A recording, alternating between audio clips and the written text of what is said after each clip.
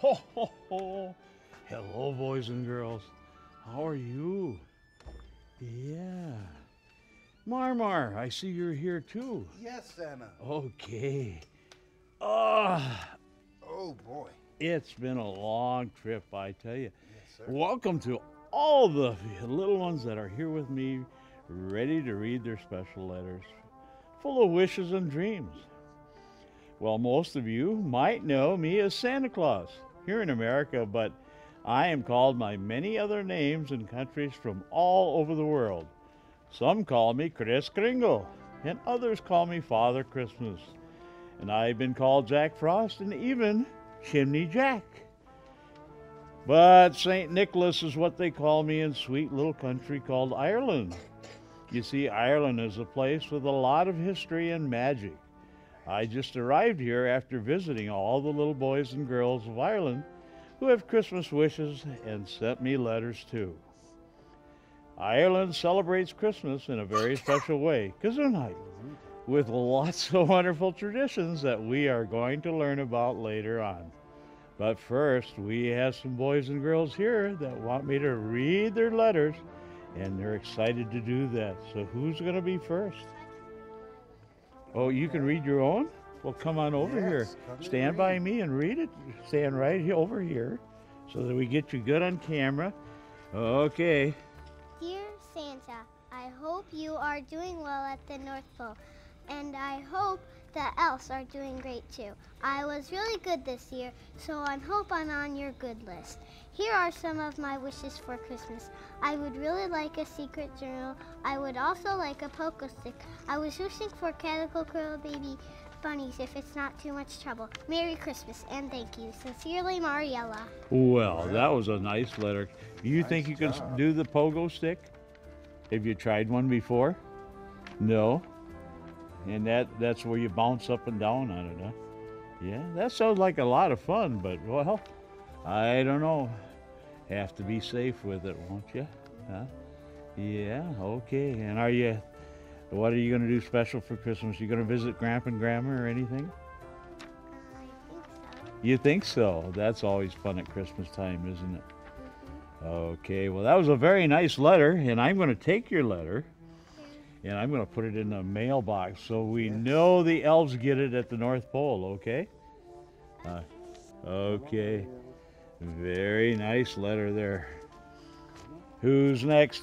Come on over, stand right here by old Santa, right beside Mar Mar there. Can you read this one or should I? I got to. You can't read yet? Neither can I. oh, I'm teasing you. And what's your name?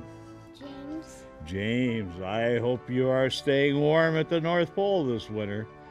Well, we usually have a good fire in the fireplace and try to stay warm there. Yeah, I'm on the good list, and there's a question mark. I think you are on the good list. Yeah.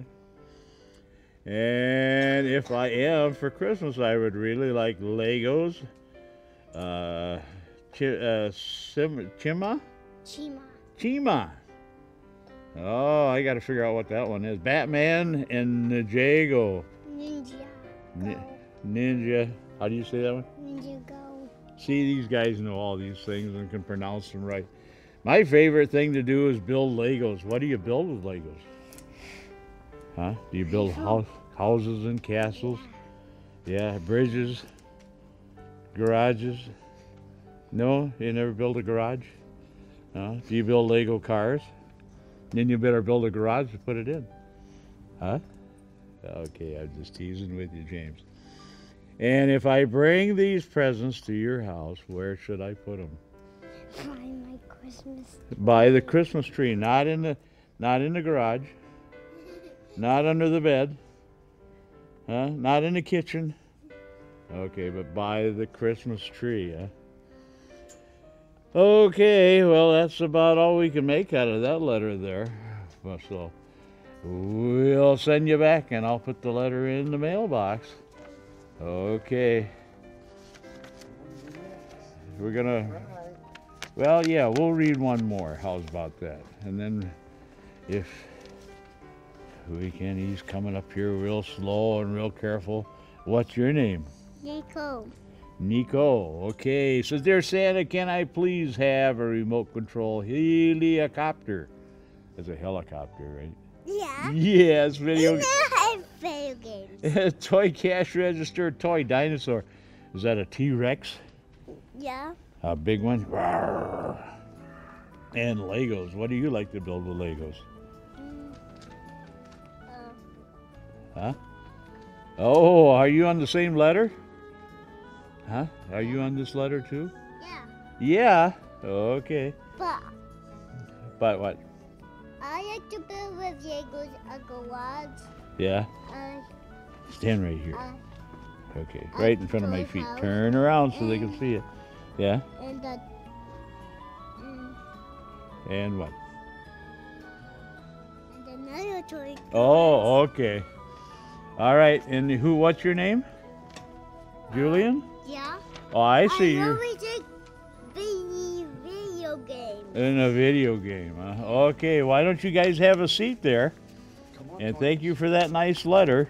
Yes. I guess we shared that one letter between the two of them. I bet you they're double trouble. Do you think they're twins? Yes, I think. I they're think they look that way. Yes. Now it's time to learn about one of the traditions celebrated in Ireland, a very popular one that began there. Do you think you know what it is? I'll give you a hint. It's either Christmas cookies, Christmas trees, placing a candle in the window, or opening president, presidents, pres- presents, uh, not presidents. While you think about that, let's take a look at a little story about a man trying to get in touch with his Irish roots. Hello, everyone. You know, over the last couple of days, I've learned so much about how different countries celebrate the holiday season. It's truly amazing how many traditions there are around the world. Today, I have a story about another tradition that I love. I can't wait to share it with you. Let's take a look. Meet Warren. Warren is a man who respects tradition. He is also one quarter Irish. So, this holiday season, Warren is going to be embracing his Irish heritage by placing the traditional candle in the window. See, on Christmas Eve, a candle is placed in a window as a sign that the house is a welcoming place. The candle burns throughout the night, and then on Christmas morning, it is blown out by. Wait, Warren. Warren, War- Warren, stop. Oh, I'm sorry, Mr. Narrator. I didn't mean to be rude. Good morning and Merry Christmas. Merry Christmas. Don't blow out the candle.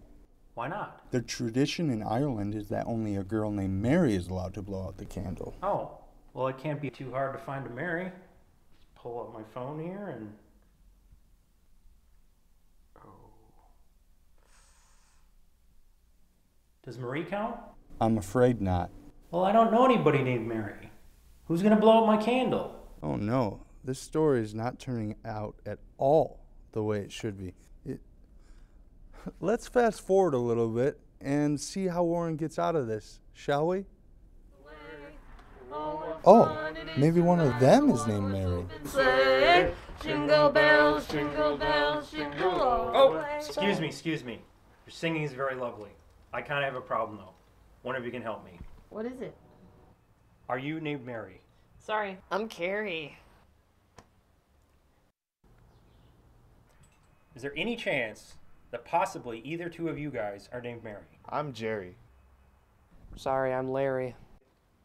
Okay. I'm never gonna find a Mary. Uh oh. Looks like the final pages are, are missing. One sec.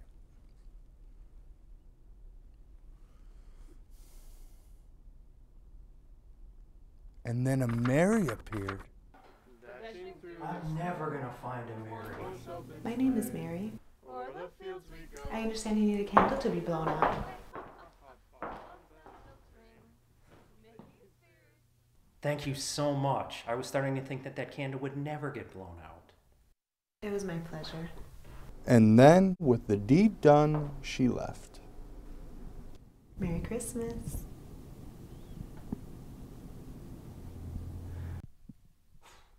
That was weird. A Christmas miracle, perhaps? I don't know, maybe. I'm just glad that's over with. I'm gonna go celebrate and go to my parents' house and open some gifts. Sorry, Warren, but presents in Ireland are open on Boxing Day, not Christmas Day. You'll have to wait. What?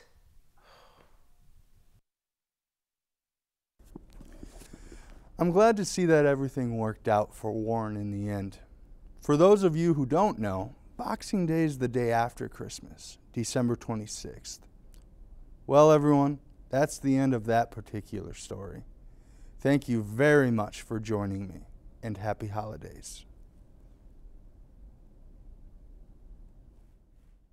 Wasn't that fun? Yes. Oh, placing a candle in the window is a tradition that comes from Ireland. You know, Yes, let's sir, sing a Santa. song. Should we sing a song? Yes, we should, okay, Santa. do that. Would you guys like to sing Frosty the Snowman? Yes. Okay, here we go. I'm going to start it off.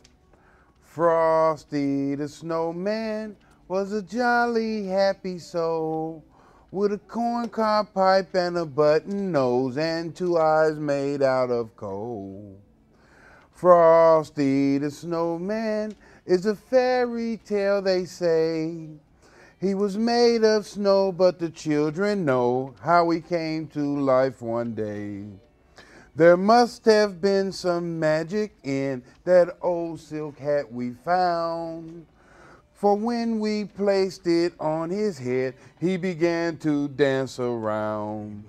Oh, Frosty the snowman was alive as he could be.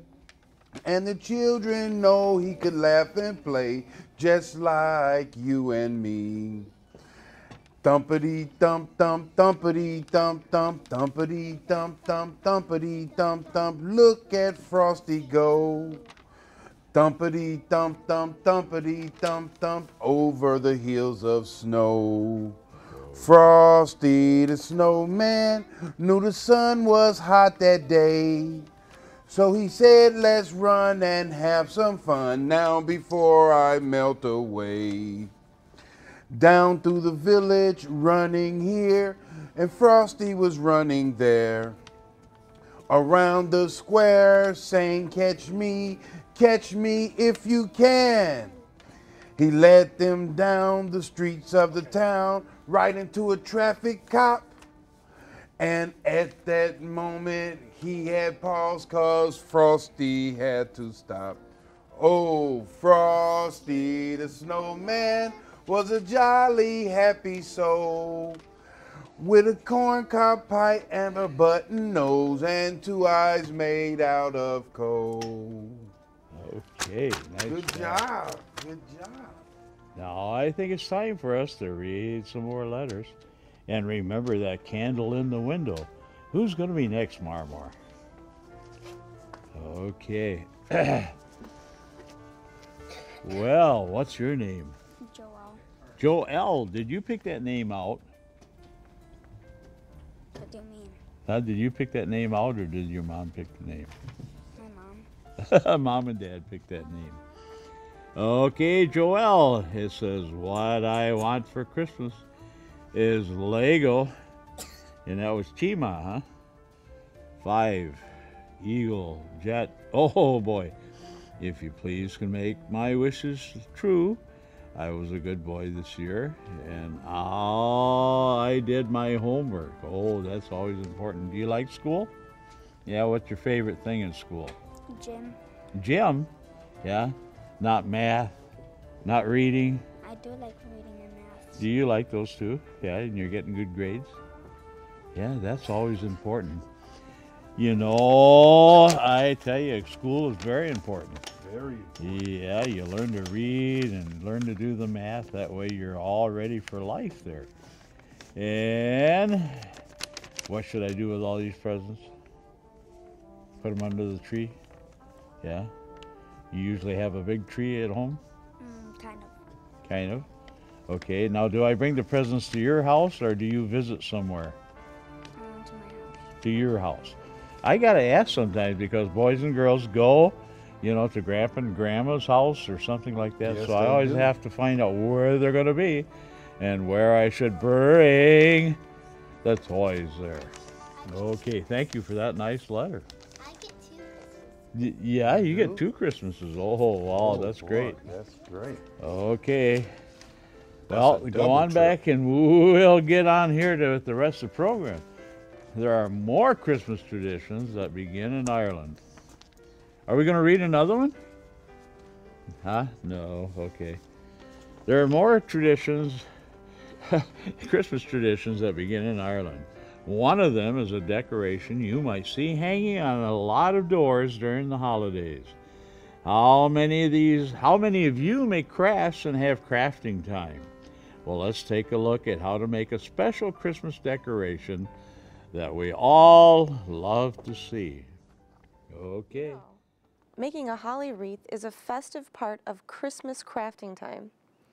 Not only is it fun, but once you hang it up, you get to enjoy your wreath throughout the entire holiday season. I'm going to show you just one way to incorporate it into your Christmas decorations. Let's get started.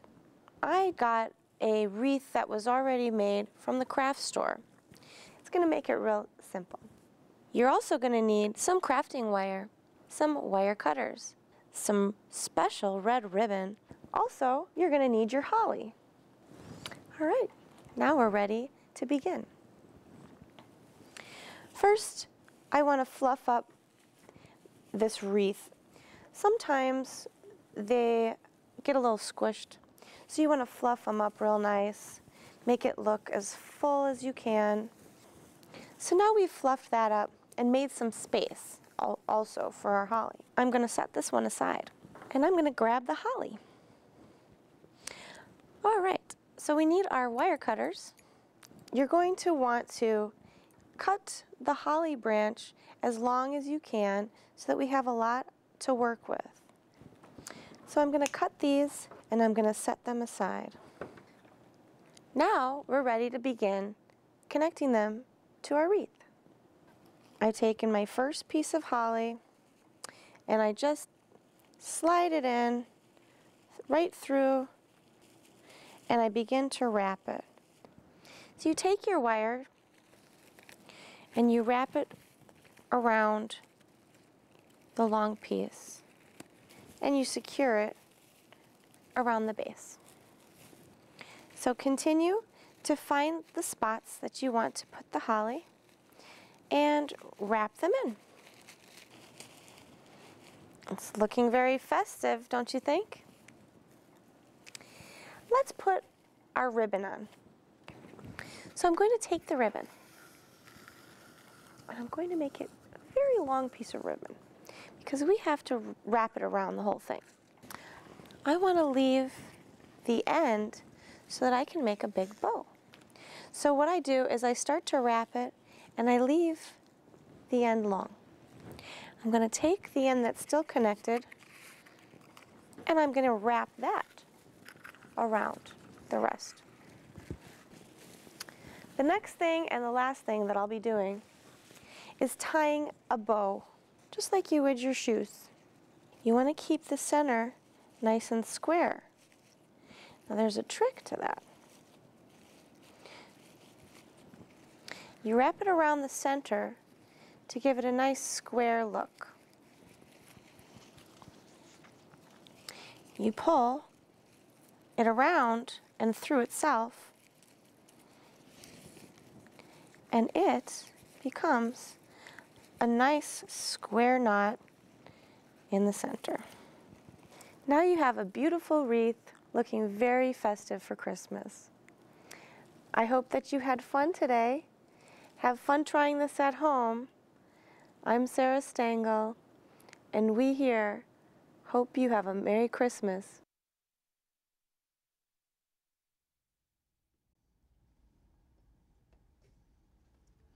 It's so nice to see the wreath hanging on the wall. We've got one here too, up there above the fireplace. Here to enjoy, looking forward to seeing all you guys make one at home. But be careful, you're using tools that could pinch your fingers, so have an adult help you out when you're doing these crafts and cutting the wire to make the wreath. And now I think it's time that we get back to reading some letters. And while we were learning how to make a wreath, Callie came up to see us, yeah? And how old are you, Callie? You're four years old, okay. And she's got a short letter, said, I want for Christmas a princess doll. And I was a very good girl this year. Yeah. Are you in preschool? Yeah, what were you doing in preschool? Yeah, you're learning to paint and you read some stories, having all kinds of fun there in preschool. Yeah, well, that's good. Are you learning your ABCs already? Yeah, and your numbers? Yeah. Are you learning to write your name? Yeah, so you're doing a lot of things in school, huh? Yeah, well, that's good. All right. And if I bring presents to your house, where should I put them? Under the Christmas tree, not in some funny place, huh? Okay. Well, thank you for that nice letter. And I think we got one. I'm going to put that in the mailbox here. Yes. Marmar, we got another gentleman there, I think, with we a do. letter. Let's bring him on over. Okay. Find out who he is. He's looking sharp today, I tell you. And what's your name? Warren. Warren? Okay. This is Warren the third. Are you the number three? Yeah, there was two other ones before you, huh? All right. And are you looking forward to having Christmas? Yeah. What do you usually do at your house for Christmas? Uh, decorate my tree. Yeah. Um, um, when my presents come, um, play with them. Okay, and open up all the presents. Do you have a good dinner or something to eat? Yes. Yeah. What do you have good to eat? Uh, I have. Mm, Do you have ham or turkey or something like that? yes. Yeah. I'm looking for a good place to find Christmas dinner. So that's why I was asking. I thought maybe if you were having something real good, I'd stop by for dinner. Would you like that? Yeah? okay, but we don't know what you're going to have, huh? No, not yet. Oh, he's got a letter here. He said, I would like a snowboard. Everyone else to have food to eat and a place to live. And he's worried about other people in the world, and that's Yes, always he nice. Excuse me. Hmm. Traveling. Traveling in that cold sleigh, I tell you, I'm catching a little cold there, I think. I better find some cough drops and cough syrup and and Mrs. Claus to take care of me a little bit there. Hot toddy. A hot toddy, there you go. All right, and if I bring presents to your house, where should I put them? Under the tree. Under the tree. No funny places, huh? Not in the on the kitchen. no. No, not behind the house. No. Okay, you gonna leave anything special out for us? Cookies and milk. Some cookies and milk. What's your favorite cookie? Um, sugar. What's that? Sugar. Sugar cookies. Oh, those are good ones. Do you put frosting on them too? Yes. Yeah. Do you make up uh, reindeer cookies and Santa Claus cookies and? Yes. Yeah, you make all those, huh? I tell you what, Mar Mar, it looks like we're gonna have some good treats on Christmas Eve. That's It for sure sure. does, Santa. Yeah. Well, we'll see what we can do there. I sure like these letters because it gives us good ideas on all the different things that we need to do at the North Pole to get ready. I tell you, that's always fun to, you know, make up all these presents, get them wrapped up, and and do and get everything ready for the boys and girls. It's gonna be a busy year. Going to be a busy year. And then when we finally get home, we all get together and have a big Christmas feast, huh? That's the best part. Marmar always likes that the best. Yes, I do. he always likes that part the best. yes. Well, okay. I think we got that one read. Okay.